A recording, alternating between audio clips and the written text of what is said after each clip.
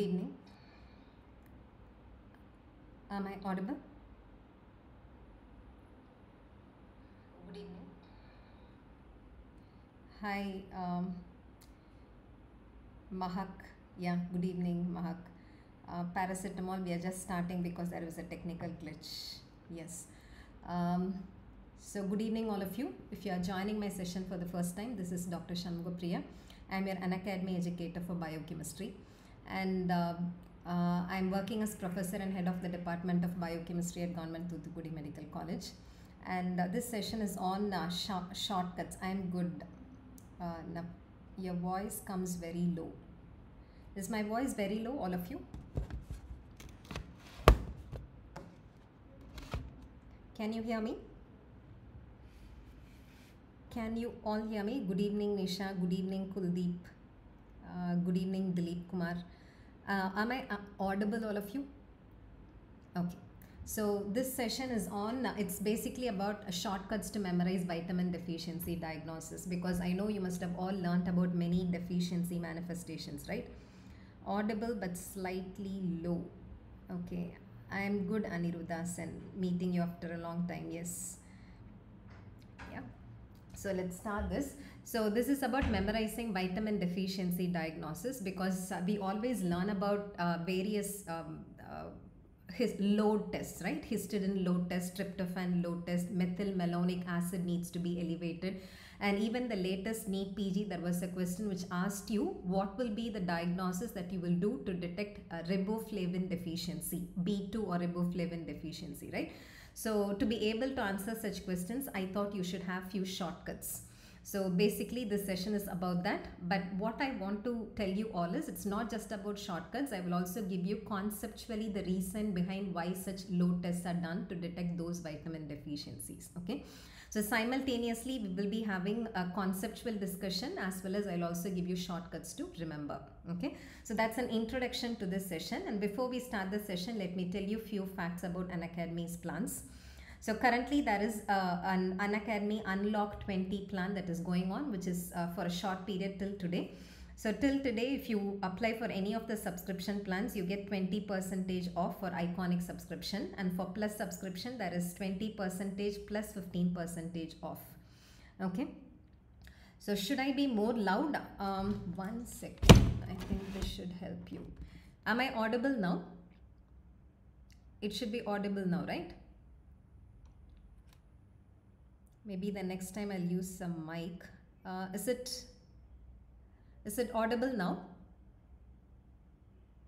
MBBS first year biochemistry. How should I? Uh, Mahak, I'm starting a, a course. Uh, uh, it is basically a foundation course for first MBBS, which you can join. Yeah, thank you. Yes, thanks a lot. So uh, to get this uh, subscription plan, you can use any educator's code. My code is C Shanmugapriya okay and then currently we have a new batch which is NEET PG 2023 integrated and system based batch which started just yesterday. In this batch uh, preclinical and paraclinical subjects will be integrated with clinical subjects. So it will be completely clinically integrated course. And this course will happen in three modules. In the first module it will be as i told you uh, dual educator sessions will be conducted wherein preclinical uh, educators will integrate with the, uh, those subjects will be integrated with clinical subjects and the duration of this course would be from august till october. And then the second module is a previous year question discussion batch which starts in the month of october ends in november. And finally we have an image based question discussion. So if you attend this you will have an edge over others as far as NEET PG 2023 is concerned okay? Foundation batch is starting on september 2nd mahak I'm starting it on September 2nd. I will be posting the link tonight. You can join that. Okay. And then we also have a question bank 2.0 and this will help you in excelling in NEET PG exam. Yes. NEET PG exam. Highlight of this question bank is that there are around 18,000 18, plus brand new question. Most of those are clinical case based. They're all integrated MCQs. So utilize that question bank and this is available for plus subscribers, iconic subscribers. Now let's start discussing these MCQs. This is the first question for today evening. The question is a chronic alcoholic presents with an episode of hypoglycemia He is treated with dextrose infusion and thiamine injection. So at this point, I would like to tell you one fact. Yeah, it is a chronic alcoholic is susceptible to develop repeated episodes of hypoglycemia. I will tell you why when we discuss alcohol metabolism. I have scheduled a YouTube session even for chronic alcoholism. When we discuss that, I would I would explain why. But for now, a chronic alcoholic is susceptible to develop repeated episodes of hypoglycemia. And a chronic alcoholic is also susceptible to develop thiamine deficiency. Okay, so both these facts are provided to you. They have not asked you those two facts. They've given you a chronic alcoholic presence with an episode of hypoglycemia. He's treated with dextrose infusion with thiamine injection. Before discharge, he is advised about effects of chronic alcoholism and so he wants to check his thiamine availability status. So everything is provided. The question is very simple. What is the investigation you would prescribe to check the thiamine availability status? What would be your answer? Very good, Richa. Very good, uh, Ruhi. Harshit, all of you, Aniruddha Sen, excellent. So what is answer? It is RBC transketolase activity. Whenever you suspect thiamine deficiency, what are you going to ask for? You should ask for RBC transketolase activity. Because one of the thiamine dependent enzymes is transketolases. Now, how do we remember this? How do we remember that thiamine deficiency can be detected by estimating RBC transketolase activity? For this, I want you to pick up two words. Yeah, one is keto. Yeah, one is keto. The other one is thiamine. What is thiamine? Thiamine is B1. So keto and 1. What is the common link between keto and 1? How many of you have heard of keto diet? All of you, have you all heard of, I'm not saying, I'm not asking you what is the principle behind keto diet. I'm asking you, have you heard of keto diet? right? So you must have all heard of this keto diet. In keto diet there is something called as one meal a day. Have you heard of it?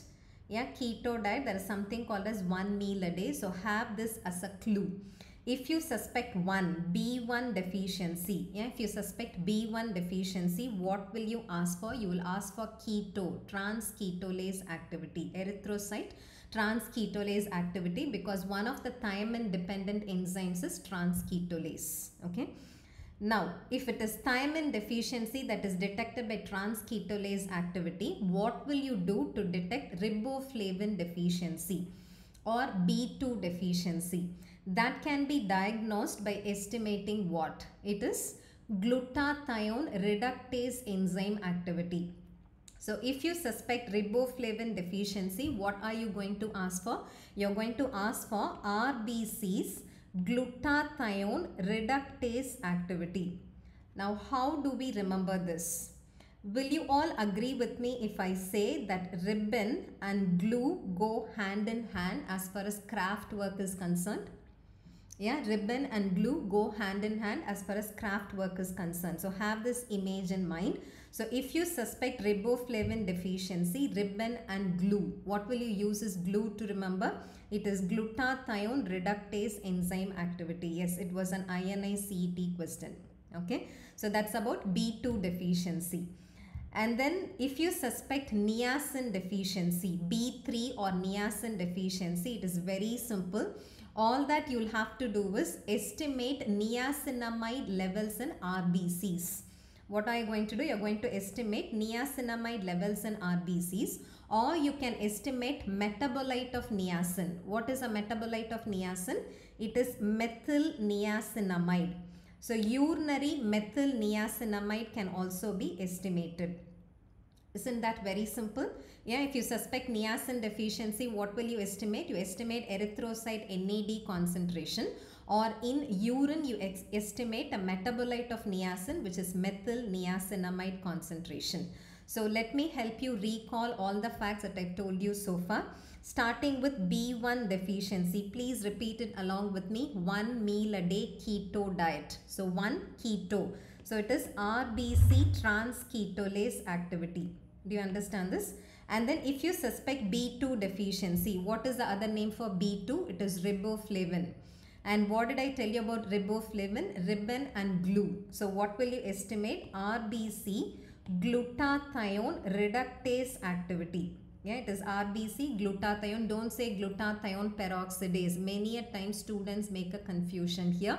So if it is riboflavin deficiency, ribbon and glue, it is glutathione reductase activity.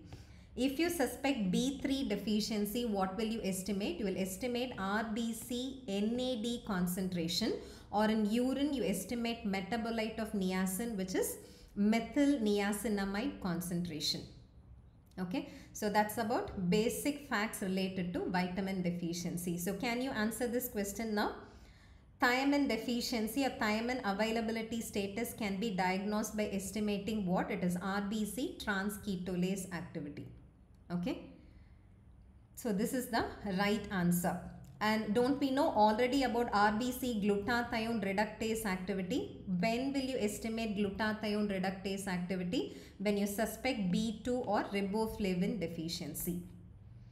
Okay, so next question is this. A known patient of tuberculosis is on INH uh, and he presents with microcytic hypochromic anemia. His serum ferritin and transferrin saturation are normal. So can you all tell me what is the most common cause of microcytic hypochromic anemia? It is iron deficiency. So the clinician here has suspected iron deficiency. That is why the clinician has estimated ferritin and transferrin levels. But what is what has happened to ferritin and transferrin saturation levels? They are normal, which means what have you excluded? You have excluded very good paracetamol, very good Ruhi, excellent. Yes, so what have you excluded? You've excluded iron deficiency. So if it is not mineral deficiency, what will you suspect? You can suspect vitamin deficiency. So vitamin deficiency is suspected as a cause of microcytic hypochromic anemia. Which vitamin deficiency can cause microcytic hypochromic anemia is the first part of the question. The second part of the question is what is the investigation of choice for diagnosing this condition? Okay. So what do you think can be the cause of microcytic hypochromic anemia as far as vitamin deficiency is concerned? Very good uh, Sanu. Yes, it is B6 deficiency. B6 or pyridoxal phosphate deficiency. So why should B6 or pyridoxal phosphate deficiency cause microcytic hypochromic anemia? It is because the coenzyme role of pyridoxal phosphate should be memorized. There are two coenzyme roles of pyridoxal phosphate which I want every one of you to remember. One is pyridoxal phosphate acts as a coenzyme for transaminases. Please memorize it. It's necessary for transaminases. It is also necessary for decarboxylases. Have you memorized this? Yeah, B6 or pyridoxal phosphate is necessary for transaminases and decarboxylases. And one of the example for decarboxylase, very good Shanmugapriyan. So we share the same name. So one example for decarboxylation reaction is ALA synthase. Where have you come across ALA synthase? ALA synthase is the rate limiting enzyme of heme synthesis. So tell me what will happen when there is B6 deficiency. When there is B6 deficiency, ALA synthase will be inactive. So heme synthesis gets affected. So that causes microcytic hypochromic anemia. So vitamin deficiency causing microcytic hypochromic anemia, what will be your suspicion? Your suspicion should be B6 deficiency or pyridoxal phosphate deficiency. Okay. Now, what is the relevance between, what is the relationship between INH intake and B6 deficiency? Can anybody try to tell me why should INH intake cause B6 deficiency? It is based on the fact that pyridoxal phosphate is the coenzyme form of B6. But for you to form pyridoxal phosphate, pyridoxal, the aldehyde form of B6 should be converted to pyridoxal phosphate in the presence of pyridoxal kinase. And your INH, isoniazid is also an aldehyde. So it's a structural analog of pyridoxal. So it competitively inhibits pyridoxal kinase. So what will not be synthesized? Pyridoxal phosphate cannot be synthesized and that is why INH intake will cause B6 deficiency and that is why INH intake can cause peripheral neuropathy and can cause microcytic hypochromic anemia. Exactly Shanmugapriyan, you're right. It's a competitive inhibitor of pyridoxal kinase. Okay. Now, apart from this, what are the other clinical conditions that you can observe in vitamin B6 deficiency based on which you will be able to make a test? Yeah, if you suspect B6 deficiency, what is the test that you're going to ask for? That is based on the fact that vitamin B6 is necessary as a coenzyme for kynureninase. Have you all heard of it? It is necessary as a coenzyme for which enzyme? Kynureninase, which is involved in the conversion of tryptophan to niacin. So do you all know that though niacin is a vitamin, when I say it's a vitamin, it's, a, it's an essential micronutrient. And you know all essential micronutrients should be supplied in the diet which means they cannot be synthesized in the body. But there is an exception, niacin can be synthesized by your body from tryptophan. You must have all learnt that 60 milligram of tryptophan is equivalent to 1 milligram of niacin. Yes or no? Yeah, 60 milligram of tryptophan is equivalent to 1 milligram of niacin. So during the conversion of tryptophan to niacin, what is the enzyme that is involved? It is kynureninase. Okay, so have a look at this tabular column or this flow chart. I know this flow chart looks very confusing. It looks complex. But all that I want you to remember is in the conversion of tryptophan to niacin, there is an enzyme. What is the enzyme's name I told you? The enzyme's name is kynureninase. And what is the speciality of kynureninase? It is dependent on B6 or pyridoxal phosphate. So now tell me what do you expect in pyridoxal phosphate deficiency? Whenever there is B6 deficiency, the precursor kynurenine gets converted to xanthurenic acid. Very good Praveen. I am very happy that you have answered this correctly. Yes, xanthurenic acid has to be estimated. So whenever there is B6 deficiency, the precursor kynurenine gets converted to xanthurenic acid. So have a look at this. If you suspect B6 deficiency, please look at what I am projecting here.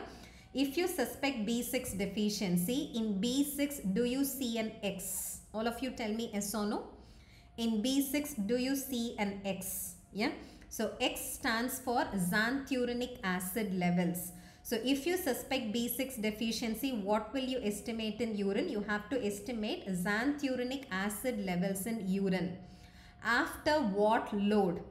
What should you give? You should give a tryptophan load. How are you going to remember that it's tryptophan load for xanthurenic acid estimation?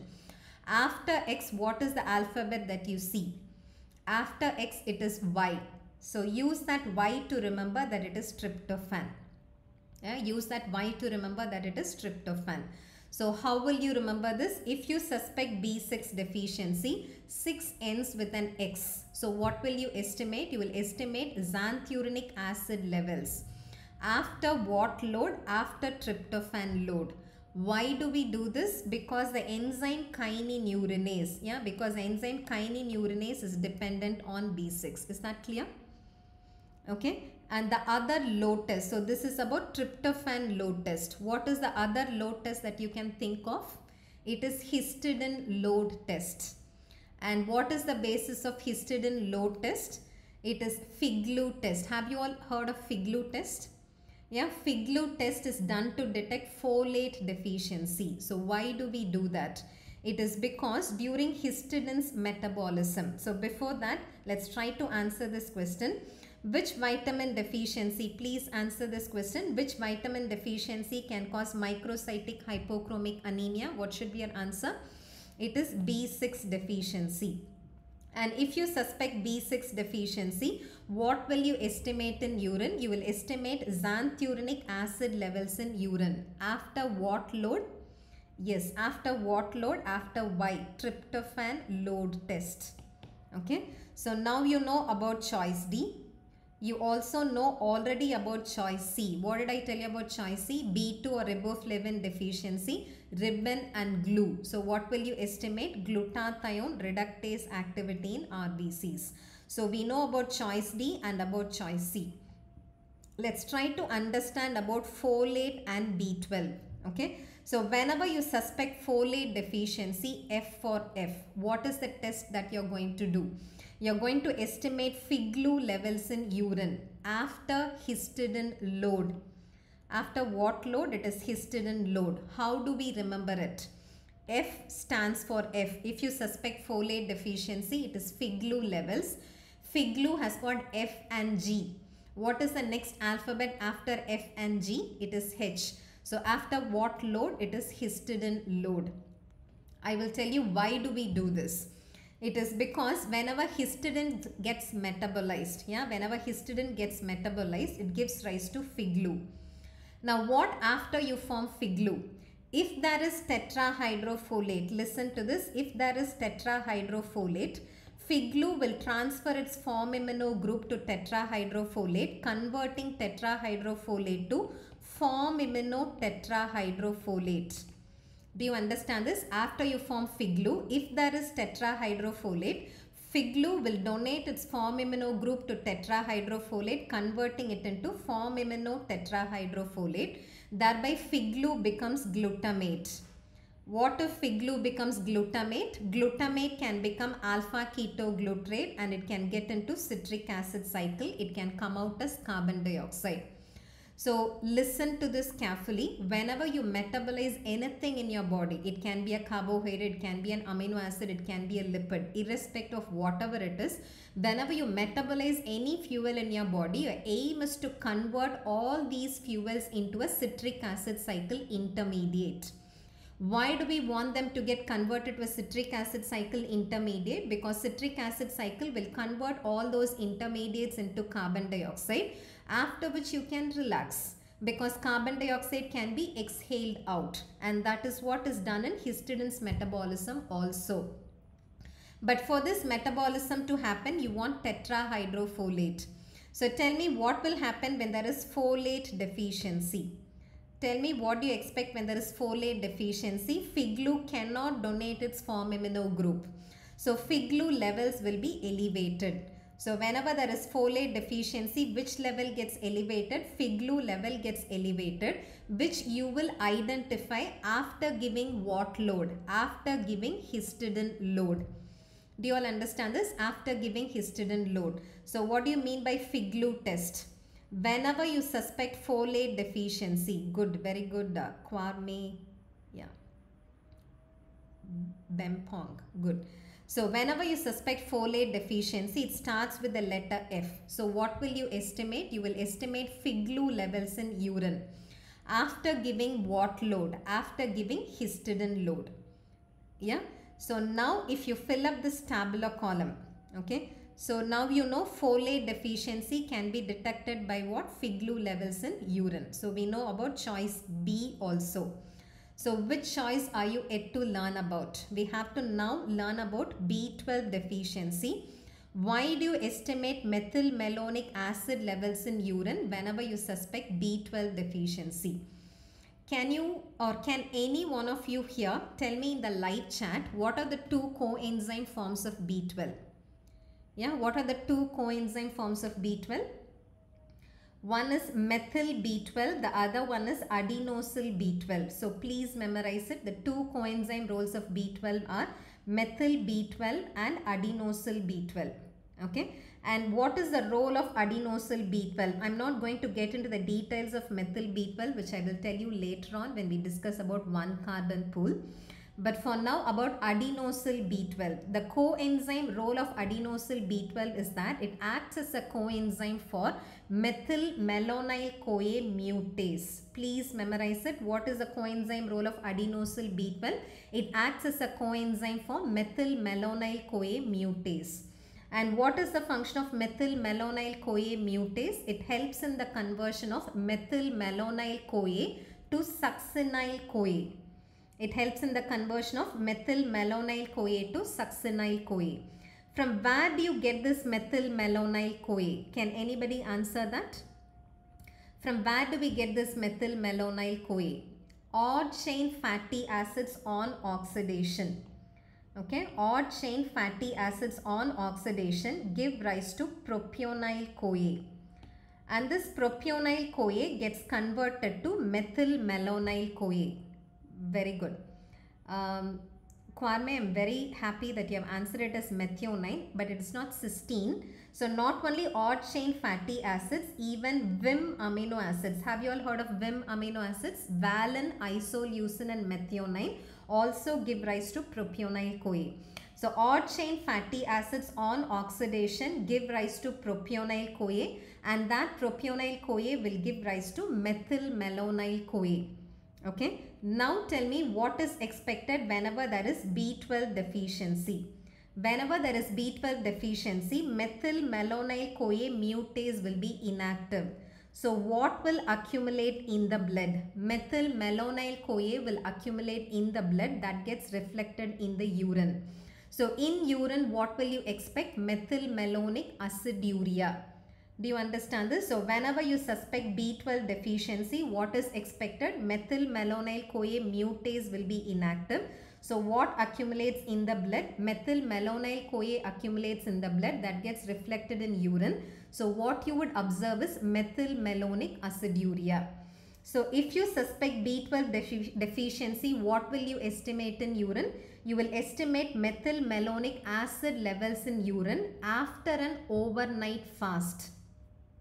So can you tell me why do you do it after an overnight fast? Until you feed a patient, yeah, until you feed a person, there is no peripheral lipolysis at all. So only when a person starves himself or herself, there is peripheral lipolysis. That is when fatty acids will get channelized to liver. When fatty acids get channelized to liver, odd chain fatty acids will also reach the liver. And in liver, odd chain fatty acids will undergo oxidation. Very good Pratishta, very good Shanmugapriyan, excellent. So only when you starve the person, there is peripheral lipolysis, odd chain fatty acids reach liver. In liver, fatty acids get oxidized and they give rise to propionyl CoA. Propionyl CoA happily becomes methyl malonyl CoA but because this person has got B12 deficiency, it is not converted to succinyl CoA. So methyl malonyl CoA accumulates. Do you understand this? So whenever you suspect B12 deficiency, estimate methyl malonic acid level in urine. Okay. So now I'm going to fill up this tabular column with your help. Yeah. Can you all give me answers to this? So whenever you suspect B6 deficiency, what will you estimate in urine? 6 has got X. So what will you estimate in urine? You're going to estimate xanthurenic acid level in urine.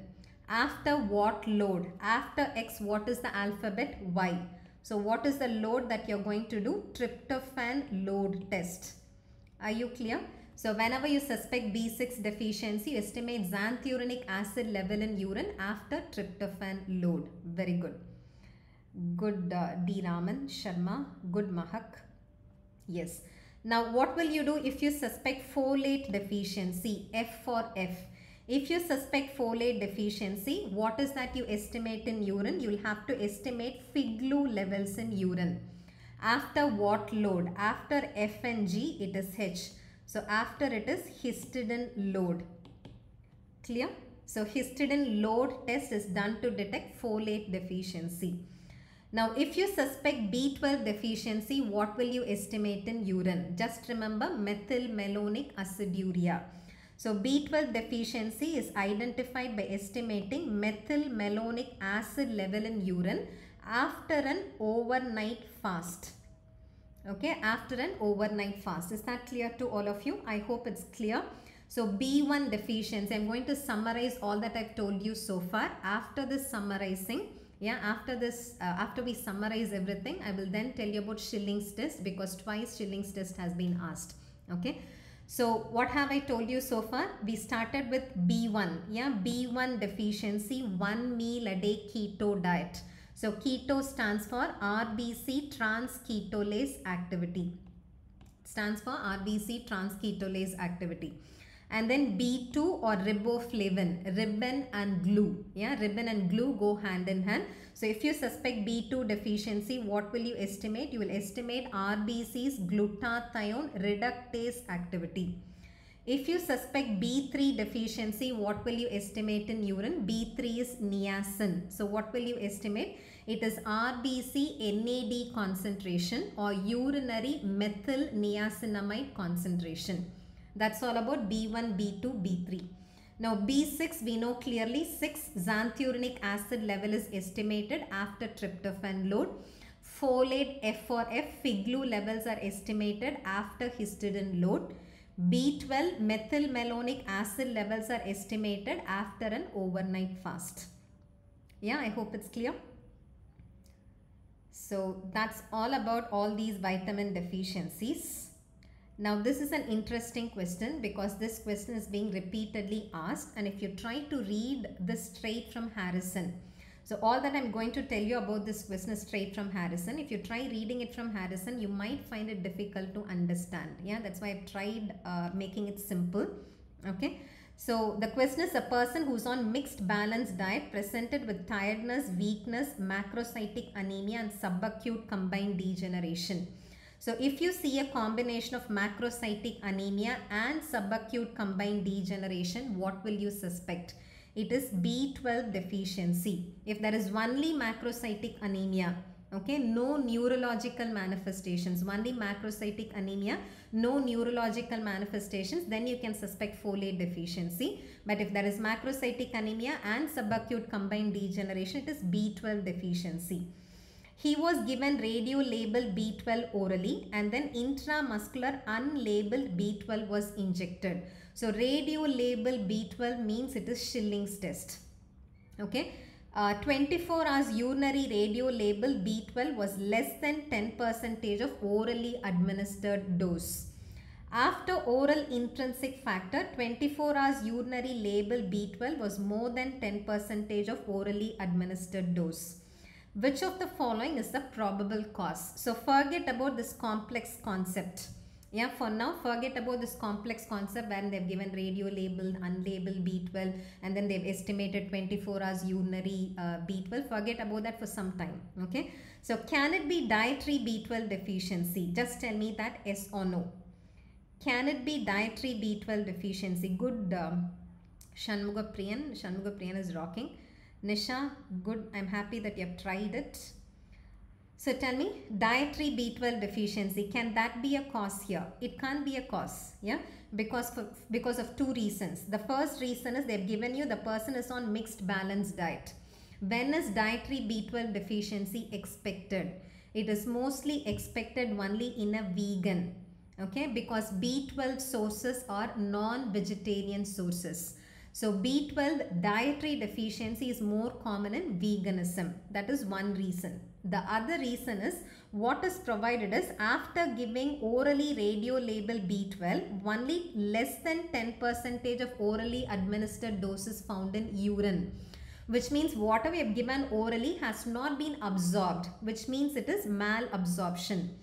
Do you understand this? It's not dietary deficiency. What is it? It is malabsorption. So we have excluded dietary B12 deficiency. So let me tell you all about Schilling's test. But for you to understand about Schilling's test, I want you to know the requirements for B12 absorption. Okay. So what are the requirements of B12 absorption? For that you will have to know uh, three facts related to how B12 is uh, sourced by your body. Yeah. The three facts are number one is source of B12. Can you tell me what is a major source of B12? Just now I told you non-vegetarian source. So this is one fact which you should all remember. The second fact is for B12 to be absorbed, it should go and bind to cobalamin receptors in the terminal ileum. Second fact that you should remember is B12 gets absorbed only after it goes and binds to cobalamin receptors in the terminal ileum. And the third fact that you should remember is it gets absorbed only in the terminal ileum unlike most other nutrients. Yeah, unlike most other nutrients which get absorbed in the upper small intestine, B12 gets absorbed in the terminal ileum. So have you understood these three facts? Yeah, have you memorized these three facts? It is predominantly non-vegetarian source. It gets absorbed only after it binds to cobalamin receptors in terminal ileum. It gets absorbed only in the terminal ileum. Why should you know these three facts? Only when you know these three facts, you will understand that your B12 when it is ingested is always attached to a protein. It is conjugated to a protein. So if you want B12 to be absorbed, that protein has to be removed. To remove the protein that is conjugated with B12, you need proteolytic enzymes which are released by pancreas. Yeah, so what is the first requirement for B12 absorption? It is pancreatic enzymes. Are you clear about this? So why do we need pancreatic enzymes for vitamin B12 absorption? It is because B12 sources are all non-vegetarian. So they're always conjugated with the protein. So if B12 has to be absorbed, that protein has to be removed. So you need a proteolytic enzyme which is released by pancreatic juice. And for cobalamin receptors to go and bind to B12, B12 should be attached to intrinsic factor. Cobalamin is nothing but extrinsic factor. For extrinsic factor to go and bind to B12, B12 should be attached to intrinsic factor. So tell me what is the second factor that is necessary for B12 absorption? It is intrinsic factor that is released by your stomach. Yeah, you know it is released by your parietal cells. So that is a second factor that is necessary. And the third factor that can determine B12 absorption is microorganisms. Yeah, the third factor is microorganisms. If there is blind loop syndrome, what do you mean by blind loop syndrome? If there is overgrowth of intestinal microorganisms in the colon, what will they do? They go and start utilizing B12 in the terminal ileum. So in the terminal ileum, if your microorganisms start utilizing those B12, they cannot get absorbed.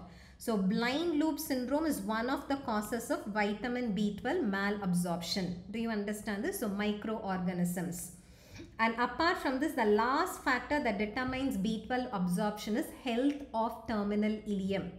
So whenever there is any damage that has happened to the terminal ileum, for example, Crohn's disease, what is Crohn's disease or regional ileitis? Terminal ileum will be damaged and that can cause vitamin B12 malabsorption. Or celiac sprue. Yeah, even in celiac sprue, your terminal ileum will be damaged. So B12 malabsorption can happen. Do you understand this? So can you tell me what are the factors which determine vitamin B12 absorption? The first factor is pancreatic enzyme presence. The second factor is intrinsic factor that is released by parietal cells. And the third factor is intestinal microorganisms which start utilizing vitamin B12 in the terminal ileum. And the last factor is health of terminal ileum. Having understood these four facts, I want all of you to type in the chat box causes of vitamin B12 malabsorption. Yeah, can I wait for you to type? What are the causes of vitamin B12 malabsorption? The first cause of B12 malabsorption would be number one, yeah, pancreatic insufficiency. Yes or no? One will be pancreatic insufficiency. Second one is intrinsic factor deficiency. Yeah, intrinsic factor deficiency as which happens in autoimmune gastritis. Okay, wherein parietal cells get damaged. So intrinsic factor deficiency. Third one is overgrowth of microorganisms which we call as blind loop syndrome. Yeah. And the fourth one is damage to terminal ileum. What are the causes of damage to terminal ileum? It is Crohn's disease or what is the other one I told you? Celiac sprue. Okay, Crohn's disease or celiac sprue. So let me repeat this. What are the causes of vitamin B12 malabsorption? Pancreatic insufficiency, intrinsic factor deficiency, blind loop syndrome, Yes, blind loop syndrome and Crohn's disease. Okay. Now, what is Schilling's test? I want you to know, I am very sure that all of you know that Schilling's test is related to B12. But what you people fail to understand, yeah, it is not your fault. It is, uh, it is the way uh, you have approached biochemistry so far. Okay, it's not your fault at all. So what you think is you always relate Schilling's to B12 and you think Schilling's test is done to detect B12 deficiency. We don't perform Schilling's test to find out if there is B12 deficiency. Because what is the test that you perform to find out if there is B12 deficiency? That is methylmalonic acid level is estimated in urine after an overnight fast. So what is the purpose of Schilling's test? It is found to find out if there is vitamin B12 malabsorption. Do you understand this? So what is the purpose of Schilling's test? It is to find out if there is vitamin B12 malabsorption and if there is vitamin B12 malabsorption, what is the cause of vitamin B12 malabsorption? So these are the two questions that will be answered when you perform Schilling's test. Okay. Now what are the steps that you have to follow before you perform Schilling's test? Step number one is you have to treat B12 and folate deficiency. Do you understand this? What is step number one? You have to treat B12 and folate deficiency. If you're asking me why, it is because B12 and folate deficiency by itself will cause gastritis. By itself will cause immune, uh, inflammation of the intestinal epithelium. So whenever intestinal epithelium gets damaged, that by itself will cause B12 malabsorption. Do you understand this?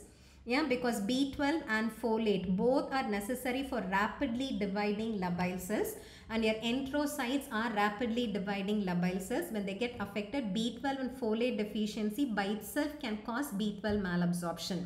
So step number one is you have to treat B12 and folate deficiency. Okay?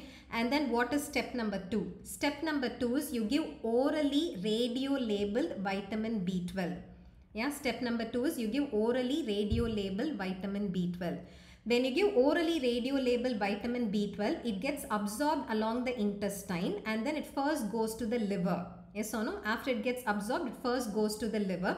When it goes to the liver first it goes and binds to b12 receptors of the liver. Only when those B12 receptors of the liver get saturated, the excess will overflow into circulation and that will be found in urine. And because to find out if there is B12 malabsorption, you're going to estimate urinary vitamin B12. You should first saturate liver vitamin B12 receptors. So how do you saturate vitamin B12 receptors? By giving unlabeled uh, B12. So what will you give? You give intramuscularly. Please understand this. You give intramuscularly unlabeled vitamin B12. What is the purpose of that? The purpose of that is to saturate liver receptors of B12. So that anything which is orally intaken, anything which is absorbed along the intestine will directly get into urine. Do you understand this? So I'm going to repeat till step 3. What is step number 1? Please understand step number 1 is treat B12 and folate deficiency. Step number 2, you give orally radio labeled vitamin B12. When you give that, the highest probability is that this orally given radio labeled B12 goes and binds to B12 receptors of the liver. We don't want that to happen. So you have to saturate B12 receptors of the liver for which you give intramuscularly unlabeled vitamin B12. So that anything which is absorbed along the intestine will get into urine. So after you do all this, you collect 24 hours urine. After this, what do you do? You collect 24 hours urine and in 24 hours urine, you measure radio labeled vitamin B12 concentration. Do you understand this? In 24 hour urine, you measure radio label vitamin B12 concentration. If you see less than 10 percentage of orally administered radio label vitamin B12 to be found in urine, only less than 10 percentage is found in urine, it means it is not absorbed. Do you understand this? It means it is not absorbed, which means there is malabsorption. So when will you say there is vitamin B12 malabsorption? When less than 10 percentage of orally administered vitamin B12 is found in urine. That is diagnostic of presence of malabsorption.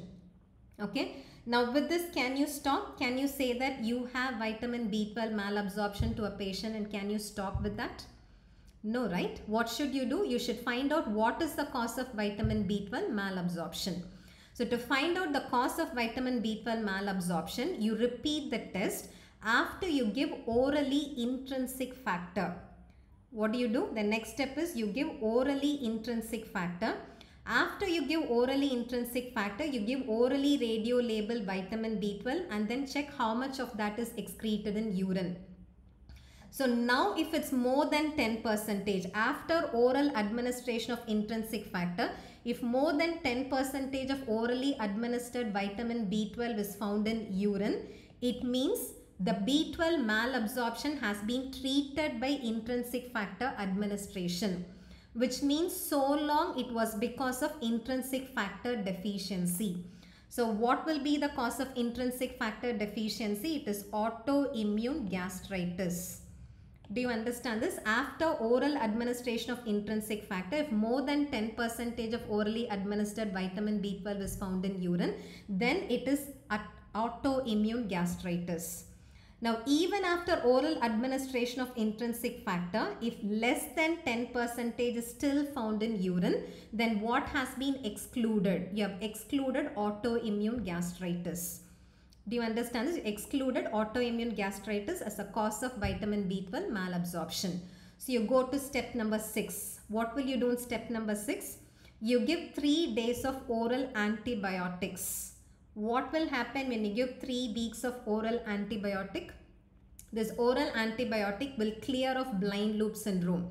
So after oral antibiotic, if more than 10 percentage of orally administered vitamin B12 is found in urine, then so long it was because of blind loop syndrome. Do you understand this? It means so long it was because of blind loop syndrome, which has been corrected by you giving what? By you giving 3 week antibiotic. Even after 3 week antibiotic, if less than 10 percentage of orally administered vitamin B12 is found in urine, then what has been excluded? Blind loop syndrome has been excluded. Okay. Now step number 7. This is the last step. So what will you do in step number 7? Here you're going to give what is left out. Pancreatic enzymes. Yeah, step number 7 is you're going to give orally pancreatic enzymes for 2 days. So after this, if it is more than 10 percentage of orally administered drug which is found in urine, then what is the cause? It is pancreatic insufficiency. If it is still less than 10 percentage, then what is the cause? If it is more than 10 percentage, it is pancreatic insufficiency. If it is less than 10 percentage, pancreatic insufficiency has been excluded. So what is the cause? It is most probably celiac sprue or Crohn's disease. It is most probably celiac sprue or Crohn's disease. So have you understood all about Schilling's test? Yeah, I hope you have understood this. So I'm going to write all about Schilling's test here. Yeah, can you repeat it along with me? Yeah, Schilling's test. Point number one about Schilling's test is it is not done to find out if there is vitamin B12 deficiency. It is done to detect if there is vitamin B12 malabsorption. And if there is vitamin B12 malabsorption, it also helps you to find out what is the cause of vitamin B12 malabsorption. Okay. So what is step number one? All of you tell me what is step number one? You treat B12 and folate deficiency. Step number two is you give orally radio labeled vitamin B12. Do you understand this? You give orally radio labeled vitamin B12. What is step number 3? Step number 3 is to saturate liver stores. You give intramuscularly unlabeled vitamin B12 which will saturate all liver receptors so that any uh, anything which is absorbed along the intestine gets excreted in urine. After that step number 4 is you collect 24 hours urine of the patient and in 24 hours urine you measure radio labeled vitamin B12 concentration. When you measure radio labeled vitamin B12 concentration, yeah, when you measure uh, urinary vitamin B12 concentration, if it is less than 10 percentage of orally administered drug, then it is diagnostic of malabsorption. If you have diagnosed malabsorption, then you go to step number 5 what will you do in step number 5? To find out the cause, you give orally intrinsic factor. After administration of intrinsic factor, if it is more than 10 percentage, then what is the cause? It is autoimmune gastritis. Even after intrinsic factor administration, if it is still less than 10 percentage, then what have, what have you excluded? You've excluded autoimmune gastritis. So you progress to step number 6. In step number 6, you give 3 week antibiotics. So after 3 week antibiotic, you again measure how much of orally administered drug is found, how much of orally administered vitamin B12 is found in urine. If it is now more than 10 percentage, then what is the cause? It is blind loop syndrome. Even now if it is less than 10 percentage, then you should go to step number 7 what will you do in step number 7 you give 2 days yeah you give 2 days pancreatic enzyme and then repeat the test. Now if it is more than 10 percentage then what is the cause? It is pancreatic insufficiency. Even now if it is less than 10 percentage then what is your diagnosis? Even if it's less than 10 percentage it is terminal ileal disease. What are the two terminal ileal conditions which can cause vitamin b12 malabsorption? It can be crohn's disease or celiac sprue got it? Yeah so i uh, suggest yeah my recommendation or my suggestion is that today you go try to read schilling's test from harrison. Yeah everything will be crystal clear. Yeah all that i've told you here is from harrison okay? So now try to answer this question. What have you excluded? Excluded dietary b12 deficiency. And then it is clearly b12 malabsorption. When there is malabsorption what have they done why am I saying it is B12 malabsorption? Because 24 hours urinary radio label B12 was less than 10 percentage of orally administered dose. So there is definitely B12 malabsorption.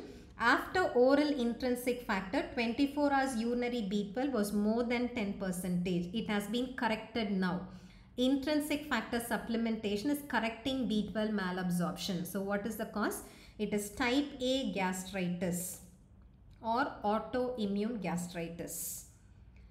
Clear? Yeah, so that's all about vitamin deficiencies and the diagnostic tests. I hope it helped all of you. Okay, so whenever you read about vitamins, please don't read like a school student trying to understand about sources of vitamins um, or about anything related to its structure. That is not how questions are asked how are questions asked? Questions are always applied these days. These are all clinically integrated MCQs. So always try to find out if I am a clinician, what would I do? How will I find out the deficiency of a particular vitamin in a person? If I find out what are the clinical manifestations that I suspect, why am I suspecting all these clinical manifestations? What should I expect in the clinical course of my patient? Yeah, that is how you should approach vitamins. Okay. Thanks, Mahak. Okay, so thank you all. See you all again with one other session uh, on YouTube. There is another session on YouTube. I think it's related to PCR. Okay, yeah, I will share the PDF in the Telegram group right away. Okay, so see you all. Good night.